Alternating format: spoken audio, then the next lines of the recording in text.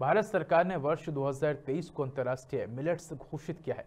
इसी के चलते उधम सिंह नगर जिला प्रशासन ने मोटे अनाज को लेकर लोगों में जागरूकता फैलाने के लिए मुख्य विकास अधिकारी विशाल मिश्रा ने विकास भवन से जन जागरूकता रथ को रवाना किया है।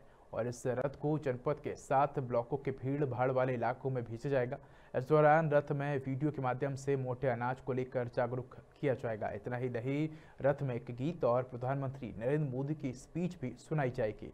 पहले दिन रथ रुद्रपुर ब्लॉक में रहेगा। इसके बाद रथ खटीमा, सितारगंज, गदरपुर, बाजपुर, काशीपुर और जसपुर की ओर रवाना होगा। रुद्रपुर से मुकेश मंडल की रिपोर्ट।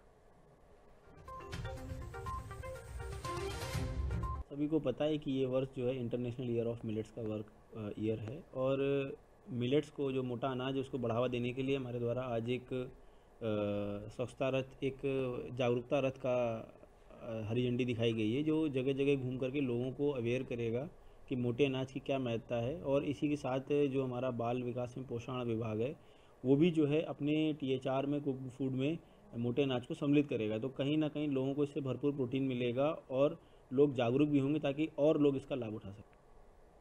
खबर देहरा